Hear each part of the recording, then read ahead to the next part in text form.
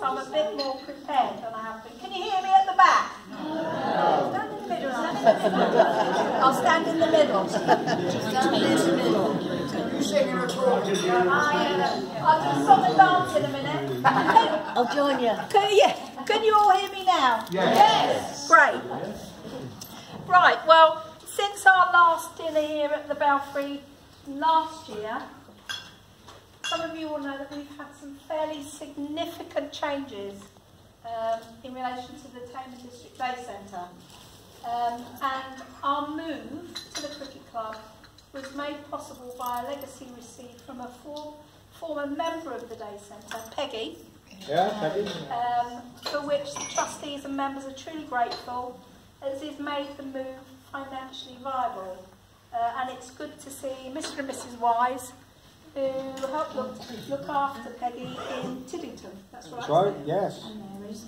Um, the move to the new cricket pavilion took place on the 14th of March.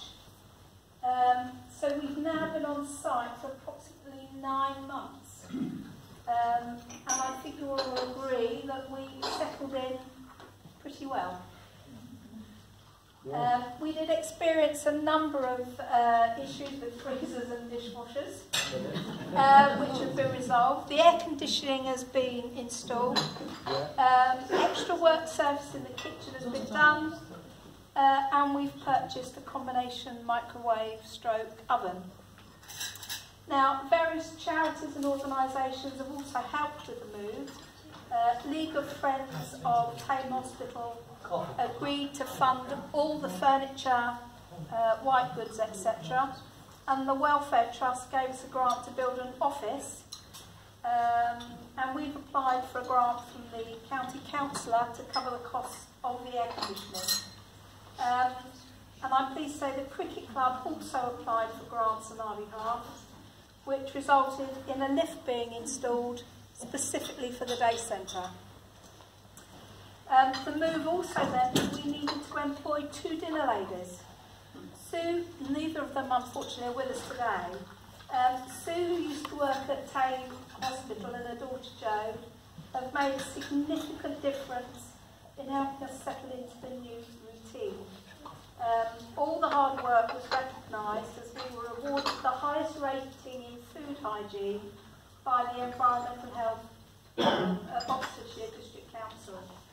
So for us, having been in the hospital for 32 years, to suddenly come out and have to do all of this, I think, you know, is a tremendous effort and all the staff that, and the volunteers that made that possible.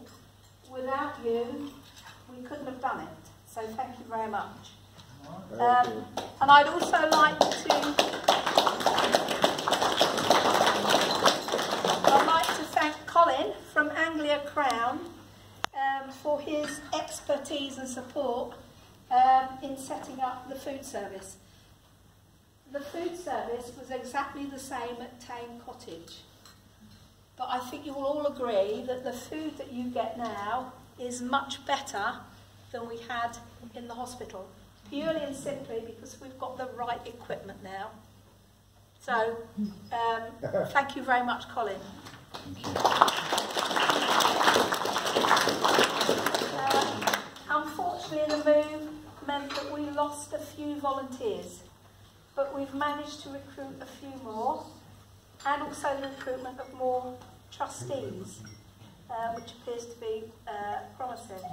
Uh, it was sad to discover in August that Age UK, the Age UK Dementia Friendly Service out of Holton Village Hall closed on the 25th of September.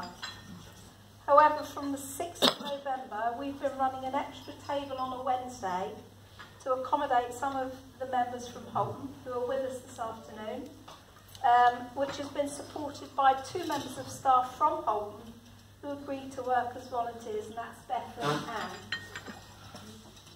Um, this year, we were also accepted onto the Young Volunteer Programme at the Oxford Hub, and Katie, who unfortunately is not with us today, from Oxford has met with a number of trustees and has also visited the day. Um, of the extra um, trustees that we've managed to recruit,